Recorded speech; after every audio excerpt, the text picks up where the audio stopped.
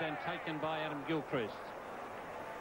So uh, Craig Evans wanders off in disgust. A rather wild and woolly shot. Well, Tom Moody can't believe his luck as well he should as well. This ball very wide. Fairly ordinary shot this one. Just trying to run it down and all he does is get a thick edge straight to Adam Gilchrist. So he's on his way for five and that's the seventh wicket down for 192. Dirk Viljoen, who has batted in the top order for Zimbabwe, uh, today is coming in at number nine. And now, has that been jammed into the ground? The umpire is saying it's out.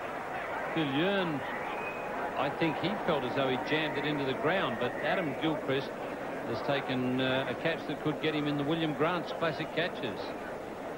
And I'd say that certainly will. Viljoen on his way. The very first delivery he gets, and just watch this attempt from Gilchrist, and that's got to make our classic catches. William Grant's, that'll be a certainty to make that one. Viljoen on his way for a duck. So Zimbabwe lose their eighth wicket for 192.